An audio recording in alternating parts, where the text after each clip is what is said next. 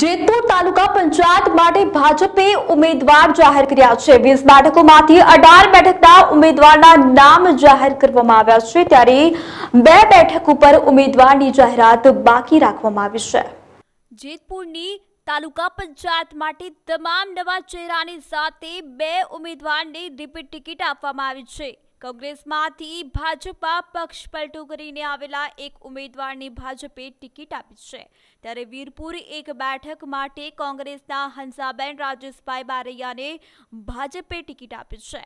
ગઈ ટ્રમમાં હંસાબેન કોંગ્રેસમાંથી છૂટ્યા હતા ત્યારે પક્ષ પલટો કરીને ભાજપમાં આવ્યા હતા. ભાજપે તેને પણ ટિકિટ આપી છે અને રિપીટ કર્યા છે. Suresh Baliya, NS Gujarat news, Jetpur.